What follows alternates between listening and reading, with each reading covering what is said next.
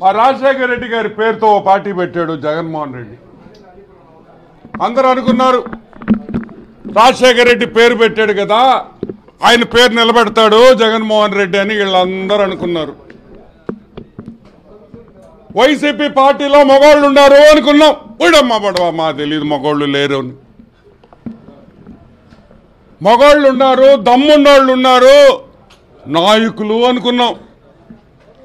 నిన్న సాయంకాలం చంద్రమోహన్ రెడ్డి గారి విషయంలో జరిగిన హిజ్రాళ్ళ దాడిలో వైసీపీ పార్టీలో మగోడనేవాడే లేడు.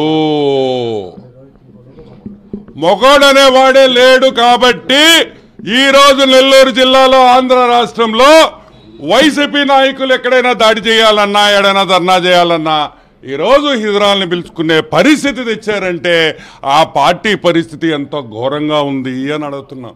ఏం జగన్మోహన్ రెడ్డి? ఇప్పుడు ఎమ్మెల్యేలు తీసేసి వాళ్ళు పనికిరారు కాబట్టి హిజ్రాలకు ఇస్తావా అని అడుగుతున్నాం.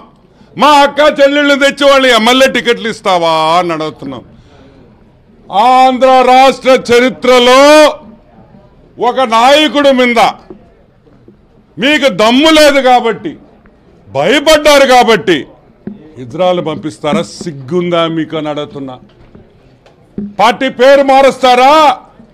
యువజన అదేందా సామ్రిక సాంక ఏందదా యువజన శ్రామిక ఇజ్రాయల్ పార్టీ అని చెప్పి మీరేమన్నా పేరు పెట్టుకుంటారా అని అడుగుతున్నాం. ఇదా మీ పార్టీ పరిస్థితి. సిగ్గుందా మీకు అని అడుగుతున్నాం. ఇంకోటి కూడా చెప్తున్నా. నెల్లూరు జిల్లా ఎమ్మెల్యేలు ఆంధ్ర రాష్ట్రంలో ఉండే ఎమ్మెల్యేలు అందరూ ఇంకో మూడు నెలల్లో బ్రహ్మాండంగా కాపురాలు చేసుకోండి. దాని తర్వాత చీరలు గాజులు మల్లెపూలన్నీ మేమే ఇస్తాం. మిమ్మల్ని అందరినీ హిజ్రాలుగా డిక్లేర్ చేసి మీరు మా హిజరా అక్క చెల్లెళ్ళతో మీరు బ్రహ్మాండంగా తిరగొచ్చని కూడా నేను మనవి చేస్తున్నా. ఇప్పుడు కన్నా మారండి. రాజశేఖర్ రెడ్డి పరువు తీయద్దు. పెద్ద ఆయన పరువు తీయద్దు. ఇజ్రాయల్ నింద్ర తీసుకొని వచ్చేది ఎదవల్లారా ఇంత పెద్ద పార్టీ పెట్టుకొని బాగా మెక్కి ఒళ్ళంతా బలిసి ఒక్కొక్క నా కొడుక్కి. ఏ వచ్చి మీ పార్టీ కోసం పోరాడి దమ్ములు ఎదురే మీక? డబ్బులు ఇచ్చి ఇజ్రాయల్ పంపిస్తారా యాదవల్లారా? ఏం బ్రతుకులరా మీ? డబ్బు సంపాదిస్తే కాదురా రే! తెలుగుదేశం కార్యకర్తల్ని చూసి ధైర్యము దమ్మింది. ఏందో తెలుసుకోండి అని కూడా మీకు అందరికీ చెప్తున్నా.